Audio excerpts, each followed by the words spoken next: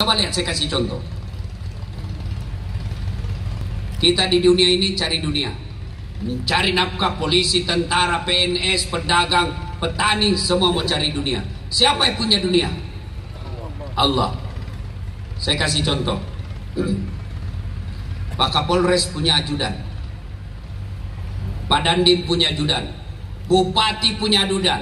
Coba kalau mereka ini bos-bos panggil ajudan. Misalnya Kapolres panggil ajudan. Ajudan! Langsung itu ajudan biar lagi tidur. Lompat. Siap komandan! Biar lagi makan kuaci. Siap perintah. Coba langsung lari. Kira-kira kalau Kapolres panggil. Ajudan! Tunggu dulu Pak. Ajudan! Bapak ndak lihat saya sibuk. Wah, diinjak lehermu bos. Tuh. Begitu takutnya manusia ketika mereka memanggil bosnya memanggil, komandannya menangin, begitu takut. Tapi ketika Allah yang panggil, Hayyalah salat. Mari dirikan sholat.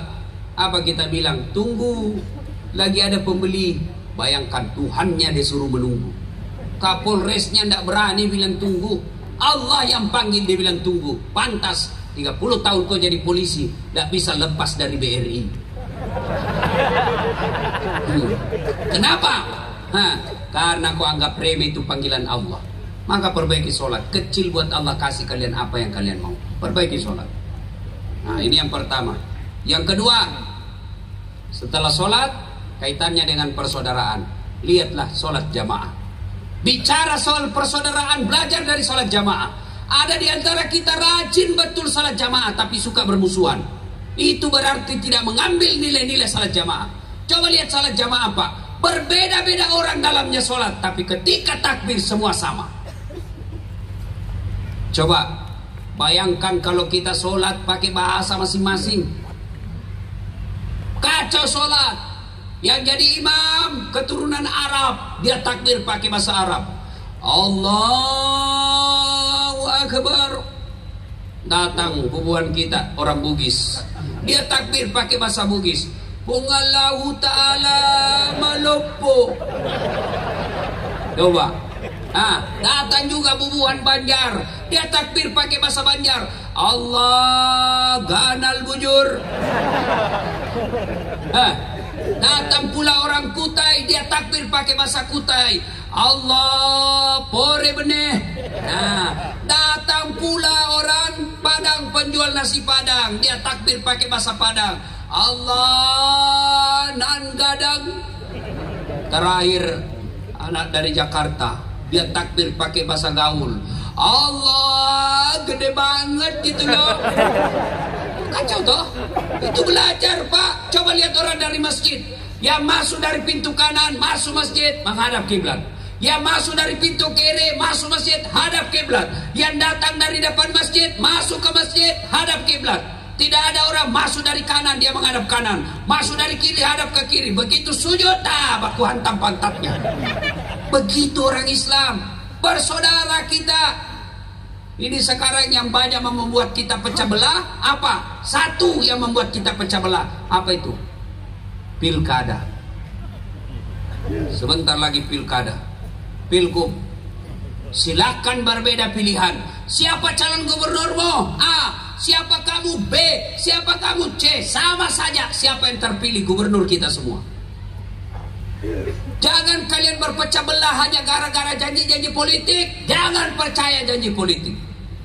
Kalau mau dia pilih diganti dia bagi-bagi kartu namanya. Nih kartu nama saya, bagi nih nih. Sama-sama kita orang Banjar, pilih saya. Ada masalah, telepon saya 24 jam. Begitu terpilih diganti nomor HP-nya.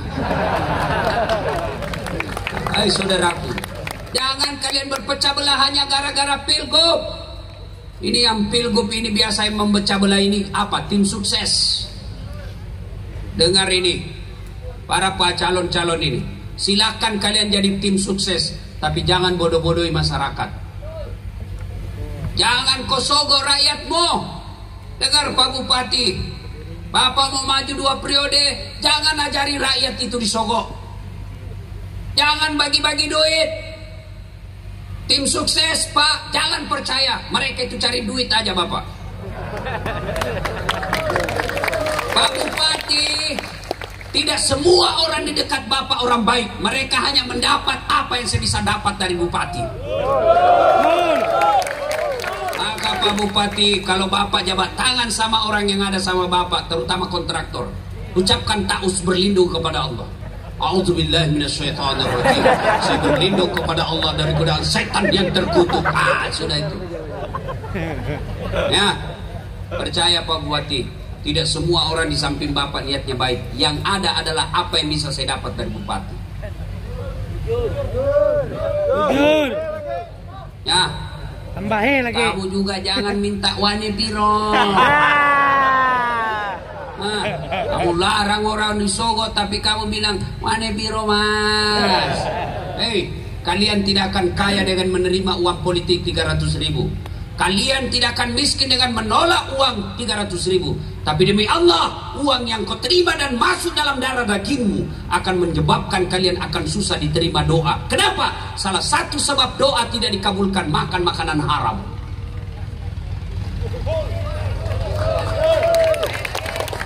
Ya. Ayo. Jaga persaudaraan. Wa'tasimu bihablillahi jami'a wa la tafarraqu. Berpegang teguhlah engkau kepada tali persaudaraan agama Allah dan janganlah engkau bercerai-berai kata Allah. Innamal mu'minuna ikhwa. Umat Islam itu bersaudara. Coba lihat Pak, tangan kanan gatal tanpa disuruh kiri yang garuk. Tangan kiri yang gatal tanpa diundang kanan yang garuk. Gatal dua-duanya kerja sama. Coba lihat. Anak muda jalan malam-malam. Jalan-jalan-jalan. Tahan tuh kakinya. Cak. Kaki tahan tuh seluruh badan berpartisipasi. Yang pertama ikut berpartisipasi. Mulut. Oh, halo. Yang kedua mata mencari. Mana ini? Hmm. Yang ketiga ditemukan mulut meniup. Huh, huh. Yang keempat tangan mengusap. Padahal kaki yang bermasalah semua ikut-ikut merasakan sakitnya. Tidak ada orang tahan tuh kakinya. Hmm, rasa kau siapa suruh kau jalan? Siapa kau suruh jalan? Maka mestinya masyarakat Barito Selatan ada jadi tentara, ada jadi polisi, ada anggota DPR, ada pegawai negeri, ada pedagang, pengusaha, nelayan, berbeda fungsi, satu tujuan mengangkat citra dan martabat kabupaten kita. Maka polisi akan berkata, tentara akan berkata, jangan kau ganggu rakyatku, kau ganggu rakyatku, saya tembak kepalamu. Itu jadi tentara dan polisi seperti itu. Dan rakyat juga berkata, jangan kau usik polisi kami, jangan kau hina tentara kami, kau hina mereka, kamu hadapi masyarakat Barito Selatan. Itu namanya persaudaraan. Jangan kau hina bupati kami, kau hina bupati kami, berarti kau hina kami masyarakat Barito Selatan. Itu namanya bersaudara. Bupati juga begitu. Jangan kau hina masyarakatku. Jangan kau ambil uangnya kau. Ambil uangnya. Lapor kau di KPK. Kan enak.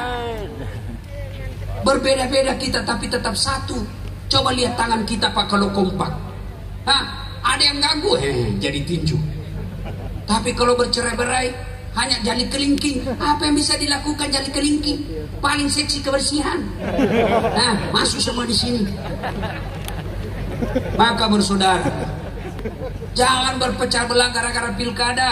Orang mau jadi gubernur, orang mau jadi di rumah dinas, orang mau dapat kendaraan dinas, kalian berpecah belah, goblok namanya. Ya, ada orang suami istri bertengkar gara-gara beda pilihan, beleng-beleng. Ya, nah bersaudara. Apa enaknya kalau banyak teman? Satu, banyak teman, banyak rezeki. Saya selalu bilang begini, saya ini tidak banyak uang saya, tapi banyak temanku, temanku banyak uangnya. Saya di Makassar tidak pernah laku saya punya duit. Saya ke pasar, baru saya turun dari mobil, ada yang teriak, Assalamualaikum Ustaz. Dalam hatiku aman dan terkendali.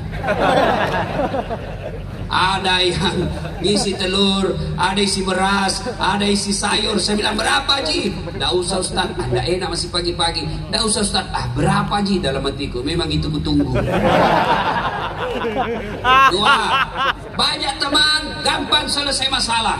Kenapa? Saya pergi perpanjangan SIM di Polres Makassar. Saya baru turun dari mobil dilihat sama Kapolres Tabes. Assalamualaikum Ustaz. Siap komandan. Waalaikumsalam. Ada apa ini Ustaz? Perpanjangan SIM komandan, panggil kasat lantas. Pak kasat, tolong bantu Pak Ustadz ya. Jangan lagi kau minta uangnya, berdosa kau uang Ustaz kau makan.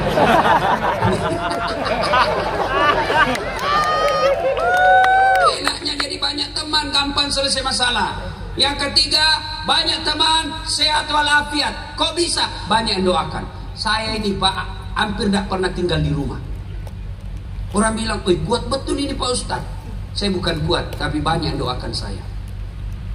Alhamdulillah, banyak teman, murah rezeki, gampang selesai urusan, sehat walafiat. Maka saudaraku, bersaudaralah. Jangan berpecah belah. Kalian berpecah belah, biar hitam solat, kalian akan bangkrut.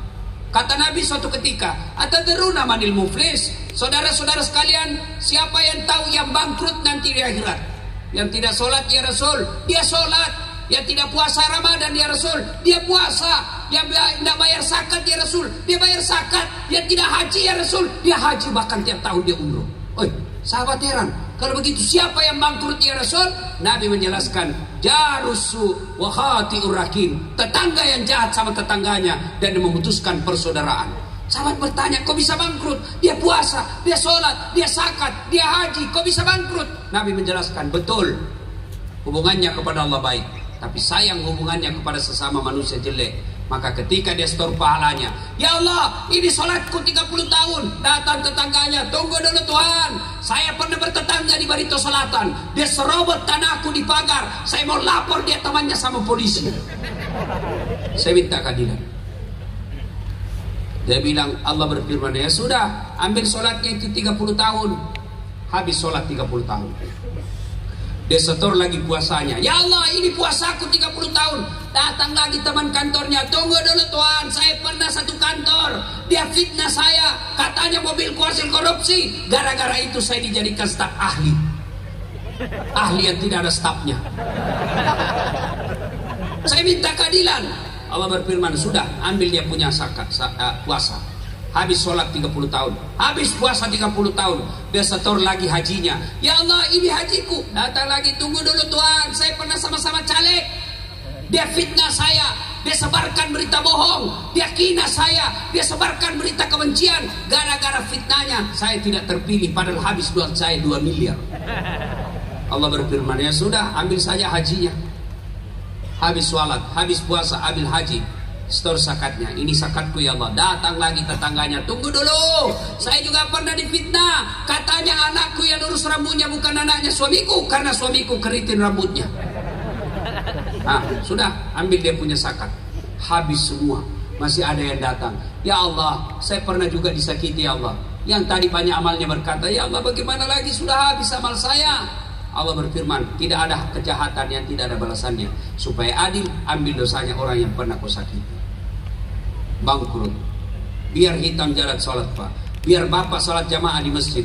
Bapak rajin tadarus. Tapi semua tetangga bapak musuh. Bapak akan bangkrut di akhirat. Maka Polres tidak mau kita bangkrut di akhirat kelak. Maka diadakan tablik akbar seperti ini. Supaya kita memulai persaudaraan. Sakit hati Ustaz dia hina biarlah sakit hatimu Allah yang balas. Maka nanti kalau ada yang bermusuhan Pak minta maaf. Maka Polres minta maaf sama anak buah yang pernah disuruh push up itu Belanda. Pak Dandim minta maaf sama anggota yang pernah kita injak-injak kakinya. Pak Bupati minta maaf kepada pegawai kita yang pernah kita mutasi. Karena kalau mereka pulang akhirat dia dendam Bapak akan bangkrut di akhirat kelak bapak-bapak yang pernah menyakiti hati istri nanti pulang minta maaf sama istri. Caranya minta maaf. Ah begini caranya pak. Satu jabat tangannya. Uh. dua pandang matanya. Senyum. Yang pandang melotot.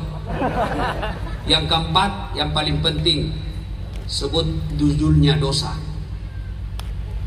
Bapak harus sebut Pak Bupati maafkan saya. Kenapa dek ada dulu hita hilang meja di kantor saya yang ambil pak ah kau rupanya ambil kasih kembali tuh nah, baru selama meja tidak dikembalikan selama itu tidak dimaafkan dosa-dosanya maka pejabat-pejabat yang pernah ngambil barang-barang kantor anggota polisi yang pernah ngambil barang-barang kantor kasih kembali besok Termasuk ibu-ibu yang pernah ngambil piring ketika ada pengantin. Harus kembali besok. Termasuk bapak-bapak yang pernah ngambil uang caleg. Harus kembali besok. Ya ketawa, saya serius ini bos. Ah, bapak juga kalau minta maaf sama istri sebut. Hmm, minta maaf saya bu. Kata istrinya apa judulnya? Nggak enak nanti kau ngamu lagi. Apa? Nggak enak. Nanti kau marah. Nggak, saya nggak marah. Apa? Betul kau nggak marah? Betul ibu. Betul pak. Betul nggak marah? Betul. Maafkan saya saya waktu saya tugas dulu di Jawa ini ada perempuan mirip betul sama kamu. Saya hilang saya, saya selingkuh. Maafkan saya saya dan bila istrinya tidak apa-apa bang.